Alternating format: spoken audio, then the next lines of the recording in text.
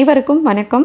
Welcome to Sumathi's home and kitchen இன்றைக்கி பதிவில் நம்ம பார்க்க இருக்கிறது ஆடி செவ்வாய்க்கிழமையில் குலதெய்வ வழிபாடு எப்படி பண்ணுங்கிறது தான் பார்க்க இருக்கோம். எங்கள் வீட்டில் ஆடி முதல் செவ்வாய்க்கிழமையான நேற்று எங்கள் குலதெய்வமான அங்காளம்மனை நாங்கள் எப்படி வழிபாடு செஞ்சோம் அப்படிங்கிறது தான் இந்த வீடியோவில் பார்க்க இருக்கோங்க. பொதுவாகவே ஆடி மாதம் அப்படின்னும் போது அம்மன் மாதம் அப்படின்னு சொல்லுவாங்க. எல்லா அம்பிகைக்குமே உகந்த மாதம் இந்த ஆடி மாதம்.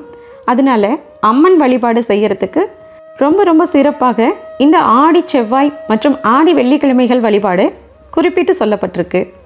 ரொம்ப எளிமையான முறையில் நம்ம குலதெய்வத்தை நம்ம வீட்டுக்கு அழைக்கிறது அப்படிங்கிறது தான் இந்த வீடியோவில் நம்ம பார்க்க இருக்கோம்.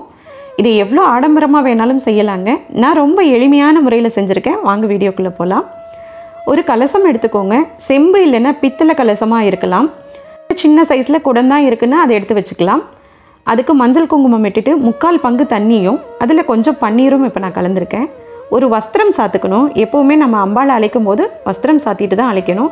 அந்த தண்ணியில் ரெண்டு ஏலக்காய் கொஞ்சம் பச்சை கற்பூரம் கொஞ்சம் மஞ்சள் பொடி கொஞ்சம் குங்குமம் இதோட ஒரு ரூபாய் நாணயம் ஒன்று போட்டிருக்கேன். கொஞ்சம் உதிரி பூக்கள் வாசனையான பூக்கள் போடுறது அம்பாளுக்கு ரொம்ப ரொம்ப பிடிக்கும்.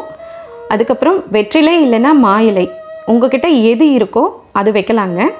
எதுவுமே இல்லைங்க. வேப்பிலை தான் கிடைக்கும் அப்படின்னா தாராளமாக வேப்பிலையும் வைக்கலாம். வச்சுட்டு அம்பிகையை இந்த கலசத்தில் எழுந்தருளை செய்கிறது அதாவது ஆவாகனம் செய்துக்கணும். வீட்டில் திருவுருவப்படம் இருந்தாலும் இந்த மாதிரி கலசம் வச்சு வழிபாடு செய்யும்போது அம்பிகையுடைய சக்தி ரொம்ப ரொம்ப அதீதமாக இருக்கும் அப்படின்னு சொல்லப்படுதுங்க. இப்போது ஒரு தேங்காவுக்கு சந்தனம் குங்குமம் வச்சு வச்சுட்டேங்க. நம்மக்கிட்ட என்ன நகை இருக்கோ அதை போட்டு அம்பிகையை அலங்காரம் பண்ணி பூவெல்லாம் வச்சு அலங்காரம் பண்ணியாச்சு. நான் அம்பிகைக்கு கனிவர்க்கங்கள்லாம் வந்து நெய்வேத்தியத்துக்காக வச்சுருக்கேன் தேங்காய் வச்சுருக்கேன். குறிப்பாக வைக்க வேண்டியது மஞ்சள் குங்குமம் மஞ்சள் சரடு. இதுவும் வெற்றிலை பாக்கோட நான் வச்சுருக்கேங்க. அப்புறம் எப்பவும் போல் ஒரு பாத்திரத்தில் தண்ணி எடுத்துகிட்டு அதில் கொஞ்சம் பூ குலதெய்வத்தை நினச்சி நம்ம வைக்கக்கூடிய அந்த தண்ணி எப்பவும் போல் வச்சுருக்கேன்.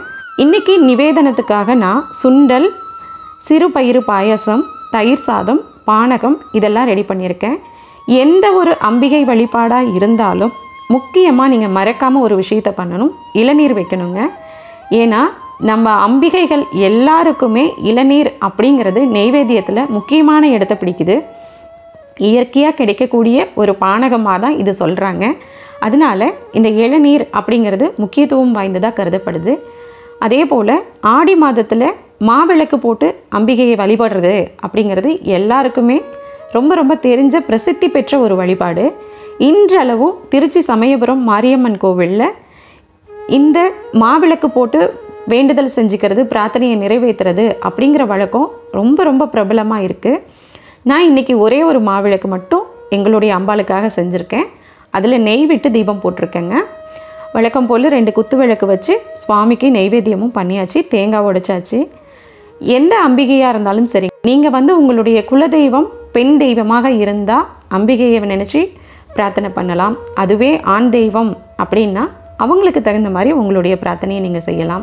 இல்லைங்க எங்களுக்கு குலதெய்வமே தெரியாது அப்படிங்கிறவங்க ஆண் தெய்வத்தை தான் வழிபடுவாங்க அப்படின்னு நினச்சிங்கன்னா முருக கடவுளை நீங்கள் குலதெய்வமாக ஏற்றுக்கலாம் பெண் தெய்வமாக இருந்தால் மதுரை ஸ்ரீ மீனாட்சி அம்மனை நீங்கள் குலதெய்வமாக ஏற்றுக்கலாம் இந்த மாதிரி அவங்க அவங்க அவங்கவுங்களுக்கு என்ன குலதெய்வமோ அவங்கள ஆடி செவ்வாயில் ஏதாவது ஒரு செவ்வாய்க்கிழமையில் வழிபாடு செய்கிறதுனால நம்ம குலம் தலைத்து ஓங்கும்.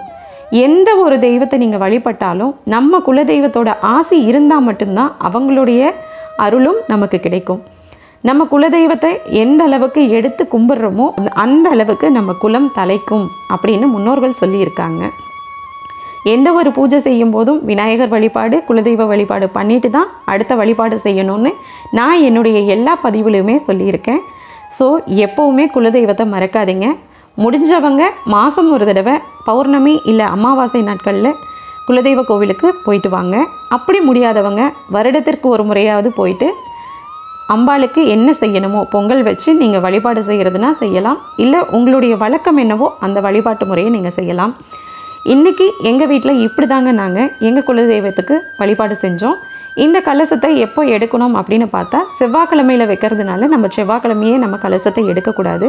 அம்பிகை ஒரு நாள் இரவு நம்ம வீட்டில் தங்கி இருக்கணும். அதனால இன்னைக்கு அதாவது செவ்வாய்க்கிழமை நைட்டு வந்து வீட்லேயே வச்சுட்டு மறுநாள் காலையில் ஒரு டம்ளர் பால் அப்படி இல்லைன்னா ஏதாவது ஒரு நெய்வேத்தியம் வச்சு பூஜை பண்ணிவிட்டு அம்பாளுடைய திருவுருவப்படத்தை ஃபஸ்ட்டு வடக்கு பார்த்து கொஞ்சம் நகர்த்தி வச்சுட்டு அதுக்கப்புறம் கலசத்தையும் லைட்டாக கொஞ்சம் நகர்த்தி வச்சிடணுங்க அதுக்கப்புறமா நீங்கள் எப்போ வேணாலும் அம்பாளை எடுத்து பூஜாரையில் வச்சிடலாம் ரொம்ப ரொம்ப எளிமையான வழிபாடாக இருந்தாலும் ரொம்ப சக்தி வாய்ந்த ஒரு வழிபாடு குலதெய்வ வழிபாடுங்க.